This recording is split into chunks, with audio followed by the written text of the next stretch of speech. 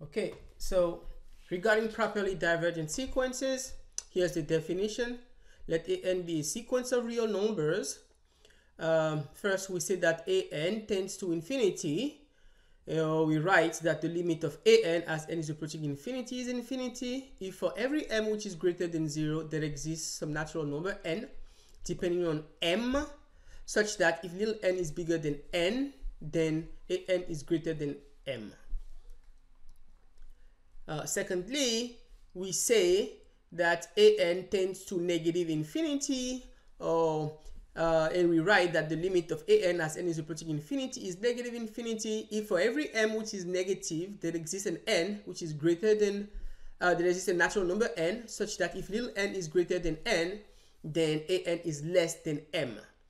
And finally we say that a sequence an is properly divergent if either the limit as n is approaching infinity is infinity or it is negative infinity. Now let an uh, be the following sequence, which is uh, a, uh, n squared for every natural number n, and let m be a positive number.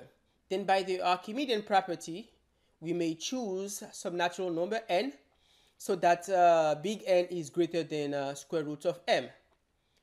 Now, uh, assuming that uh, little n is bigger than capital N, uh, it follows that um, an, which is n squared, right, is uh, greater than n squared, which is greater than uh, the square of the square root of m, which is m.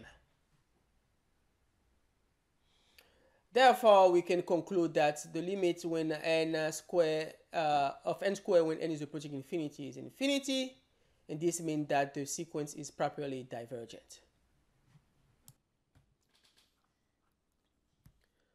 All right, so let's consider the following sequence, n square over n plus 1. And uh, note that uh, for any natural number n, uh, n square over n plus 1 is equal to n squared over n times 1 plus 1 over n. So essentially we factor n out of the denominator and by properly cancelling everything out, you get n over 1 plus 1 over n. Now, uh, 1 over n is less or equal to 1 since n is a natural number and that gives us the following estimation, right? So in other words, the reciprocal of 1 plus 1 over n is at least half. And uh, consequently, by multiplying the former, uh, the latter inequality by n, we get the estimation on the screen. Now, for fix m, which is greater or equal to 0, appealing to the Archimedean uh, property, uh, we can choose n to be sufficiently large. And we'll come back to what's how large n needs to be precisely in a moment.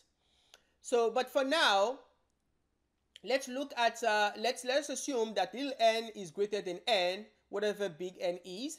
Then the quantity n squared over n plus 1, which we try to estimate, is going to be bigger than n over 2. So to make the proper estimation, we need big N to be at least 2m, to be greater than 2m.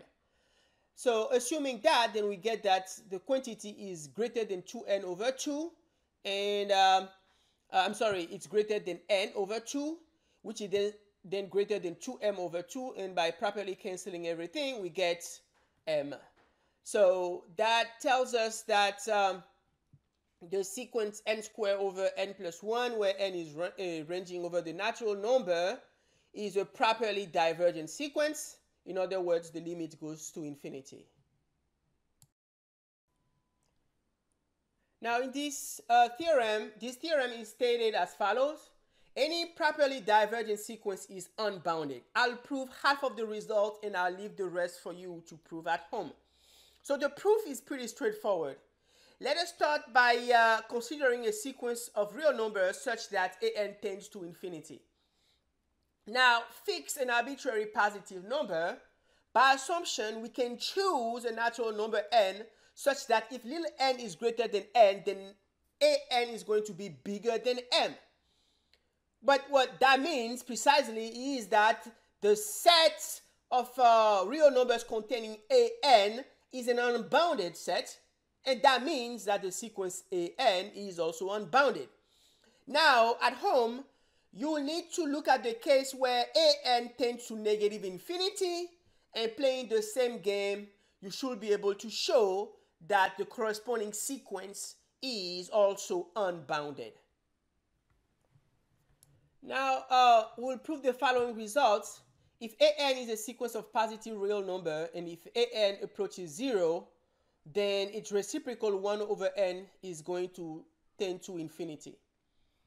It will, will diverge to infinity. So assume that an is a sequence of positive real number such that as n is approaching infinity, the sequence goes to 0.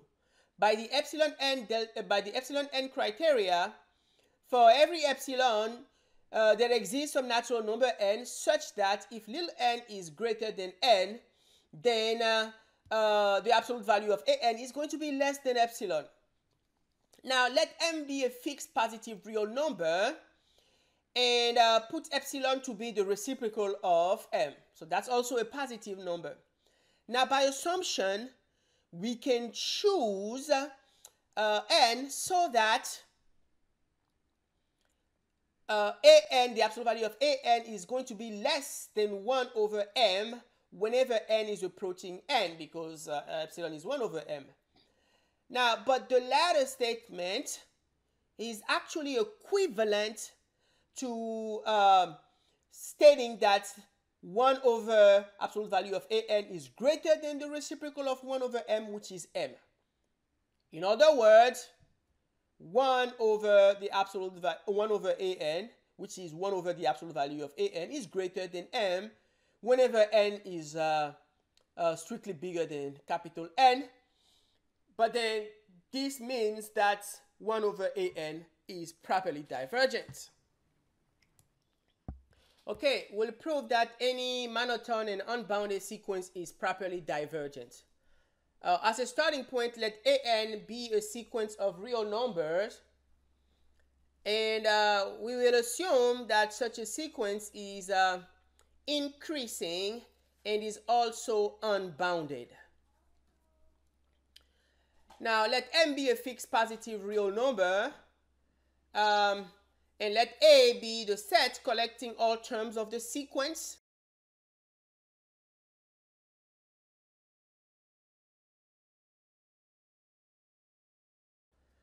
Uh, such, M cannot be an upper bound uh, for the sequence. Not for the sequence, for the set I mean.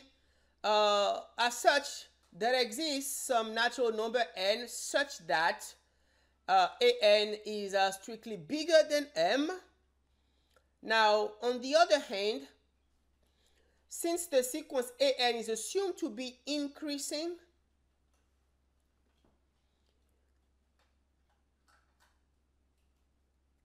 assuming that little n uh, is uh, greater than uh, big N, this will imply that an is greater than an, big N, which is greater than m. Therefore, uh, the limit of an as n is approaching infinity is infinity. Now, let us assume that an uh, is a sequence of real numbers which is uh, decreasing and also unbounded. And we let m to be some negative number and uh, let uh, big A be the set of real numbers collecting all terms of the sequence. Since A is uh, bounded above by A1, because A1 is greater or equal to A2, and A2 is greater or equal to A3, and so on, A must be unbounded below. And what that means is that uh, big M right, cannot be, uh, negative m, I'm sorry, cannot be a lower bound. Now, what exactly does that mean? That means that you can find an element of the sets, right, uh, which is smaller than negative m. So in other words, there exists a big N such that an is strictly less than negative m. Now, assuming that uh, little n is uh, greater than n, since the sequence an is decreasing, then that means that uh, uh, an is going to be less than a big N, which is of course less than negative m. And uh, this implies that an tends to negative infinity, right? So the sequence an is properly divergent either way.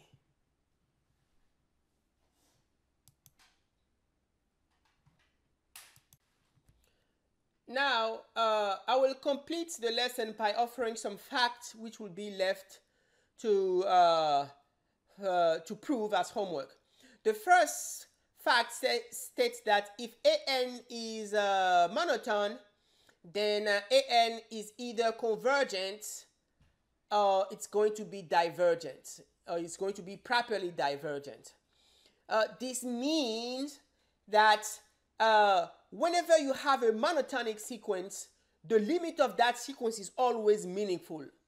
What does that mean? It means either the sequence is going to converge to some real number or it's going to diverge to plus or minus infinity. But you cannot have a scenario in which the, the, the, the limit is undefined.